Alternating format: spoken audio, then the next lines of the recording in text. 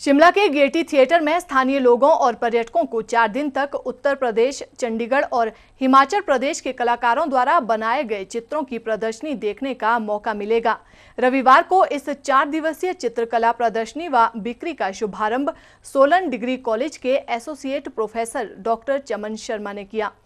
शिमला के Getty theatre के टैवरन hall में चार दिवसीय छाया चित्र प्रदर्शनी का आयोजन किया जा रहा है, जिसमें हिमाचल, उत्तर प्रदेश और चंडीगढ़ के चार कलाकारों द्वारा तैयार किए गए चित्रों का प्रदर्शन किया जा रहा है।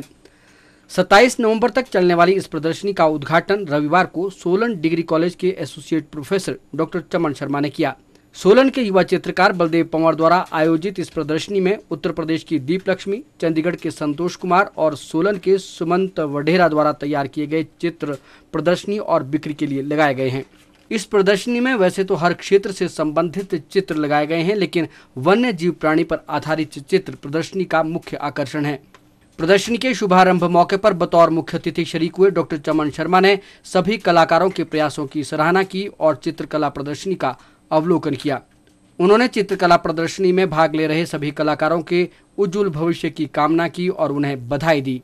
उन्होंने कहा कि इस प्रदर्शनी से उभरते हुए युवा कलाकारों को देखने और सीखने को बहुत कुछ मिलेगा। आ, मेरे लिए एक बहुत ही सौभाग्य की बात है। मेरे लिए बड़ी खुशी का दिन है आ, कि आज मुझे आ, बहुत ही बढ़िया आर्टिस्ट का एग्जीबिशन को इनोग्रेट करने का मौका मिला जिसको जिस एग्जीबिशन को ये ग्रैंड एग्जीबिशन है जिसको बलदेव पंवर जो सोलन से हैं बहुत ही उम्दा कलाकार हैं।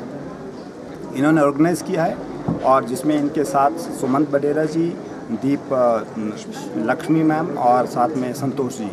इन लोगों की जो पेंटिंग एग्जीबिशन थी, उसको एग्जिबिट किया गया है। काफ़ी सारे वर्क्स यहाँ पे डिस्प्ले किए हैं जो कि अपने अपने फ़ील्ड में महारत हासिल किए हुए हैं।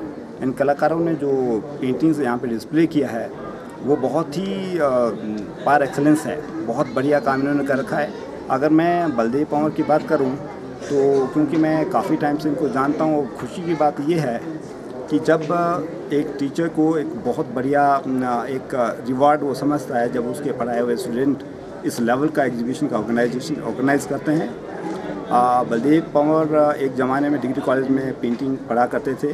तो आज ये काफ़ी नॉट ओनली इन इंडिया बल्कि इनकी पेंटिंग के जो लवर हैं वो विदेशों में भी हैं। काफ़ी सारी कंट्रीज़ में जो आर्ट लवर्स हैं, इनके आर्ट वर्क को खरीदते हैं और अप्रिशिएट करते हैं। प्रदर्शनी के आयोजक बलदेव पवन ने बताया कि इससे पहले वो दिल्ली और कुल्लू में भी चित्रकला प्रदर्शनी लगा चुके हैं और अब मुंबई में प्रदर्शनी लगाने की उनकी योजना है। उन्होंने युवाओं से कला के क्षेत्र में निरंतर कार्य व आगे बढ़ते रहने का आह्वान किया ताकि अपने शौक के साथ साथ वो इसे रोज़गार के रूप में भी अपना सकें। सबसे पहले मैं ये बता दूँ, मेरे साथ यहाँ पे तीन आर्टिस्ट और हैं, जो मेरे साथ डिस्प्ले कर रहे हैं। सुमंत वधेरा साहब हैं और हमारे दीप लक्ष्मी जी हैं, एक संतोष कुमार हैं। और जिन पे यहाँ पे पेंटिंग्स लगी है, हर मीडियम पे वाइल्ड लाइफ पे ज़्यादा काम लगा हुआ है, आप देख सकते हैं यहाँ पे। और यहाँ पे हमारा ज़्यादा काम स्टिल लाइफ पे भी है वाइल्ड लाइफ लेकिन ज़्यादा है टाइगर्स पे इन पे ज़्यादा काम हमारे हैं। वाइल्ड लाइफ वगैरह? ये पेंटिंग यहाँ की एग्जीबिशन लगाने का उद्देश्य क्या है? यहाँ पे ये कि मेरे जो तीन आर्टिस्ट और हैं इन्हें प्रमोट करना है।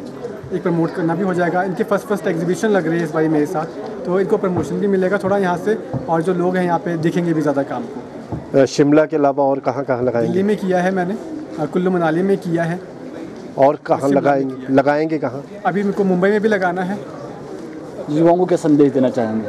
मैं युवाओं को ये संदेश देना चाहता हूँ कि आप काम करते रहें।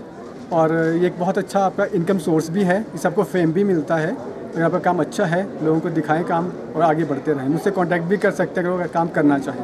Bureau report, city channel Shimla.